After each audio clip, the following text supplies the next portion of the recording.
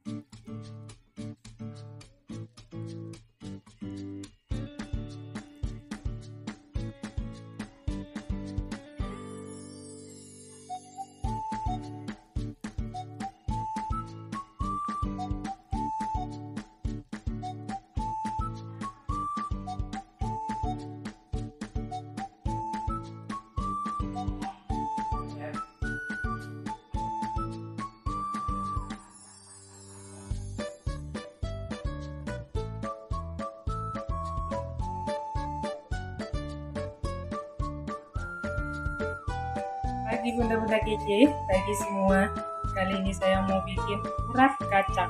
Sebelum mulai jangan lupa di like dan di subscribe. Kita bahan dulu bunda ya. Kita ke bahan. Ini ada kacang panjang sudah direbus. Sudah saya sobek-sobek seperti ini bunda ya, panjang-panjang.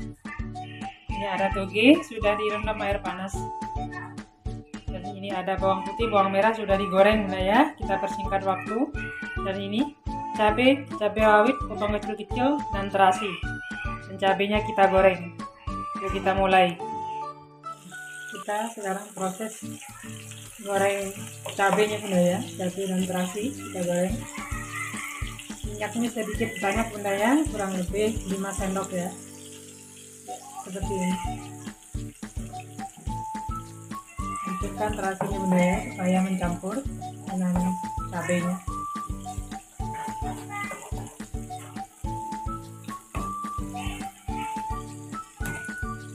Nah,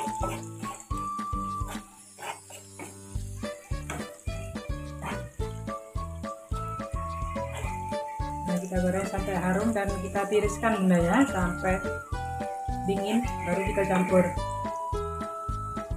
Nah, bunda Kici sekarang kita proses mencampur ya. Kita tambahkan garam. Sedikit vitsin bunda ya, sedikit saja. Jika tidak suka vitsin tidak tidak usah. Sedikit saja vitsinnya. Bawang. Bawang merah bawang putih sudah digoreng ini ya. Goreng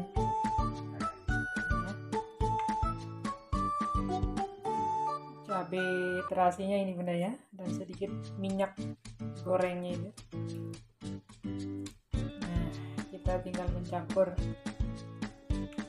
Jangan lupa ini bunda ya ini jeruk lemon jeruk lemon dan kita campur-campur bunda ya pakai tangan ya mencampurnya Nah, sudah jadi bunda ya seperti ini. Kita campur pakai tangan. Maaf, tangannya sudah bersih bunda ya. Nah, urat itu tidak perlu pakai kelapa bunda ya. Tidak perlu pakai kelapa. Cukup dengan seperti ini saja dan lebih lezat ya.